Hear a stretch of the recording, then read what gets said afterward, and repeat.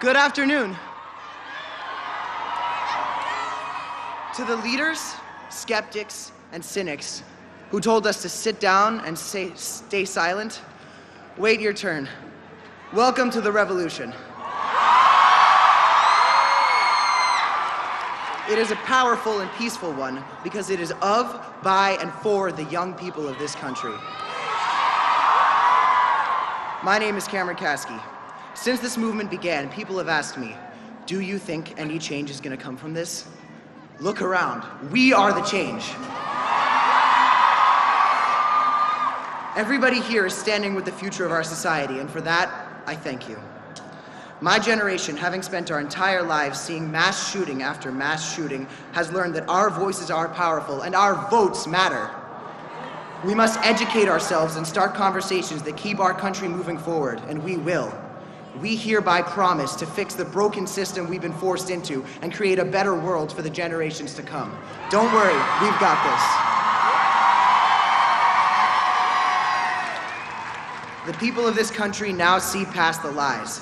We've seen this narrative before. For the first time, the corrupt aren't controlling our story.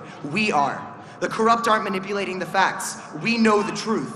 Shooting after shooting, the American people now see one thing they all have in common the weapons.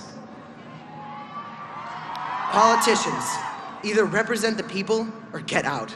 The people demand a law banning the sale of assault weapons. The people demand we prohibit the sale of high capacity magazines. The people demand universal background checks.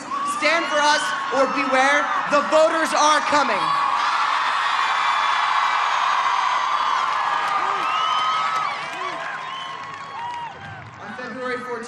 Tragedy struck my hometown and my school, Marjory Stoneman Douglas High. Alyssa Alhadeff, Scott Beigel, Martin Duque Anguiano, Aaron Feis, Jaime Guttenberg, Chris Hixon, Luke Hoyer, Cara Loughran, Gina Montalto, Joaquin Oliver, Alaina Petty, Meadow Pollack, Helena Ramsay, Alex Schachter, Carmen Schentrup, Peter Wang, and Nicholas For the end, because today is Nicholas's birthday. Nicholas, we are all here for you. Happy birthday. Their families endured great pain. Many others were injured, and thousands of young people, my classmates, were forced to become adults and were targeted as adults. We have to do this for them. We must stand beside those we've lost and fix the world that betrayed them. This doesn't just happen in schools. Americans are being attacked in churches, nightclubs, movie theaters, and on the Fix this. For the first time in a long while, I look forward 10 years and I feel hope. I see light. I see a system I'll be proud of, but it all starts with you. The march is not the climax of this movement, it is the beginning. It is the springboard off of which my generation and all who stand with us will jump into a safer future.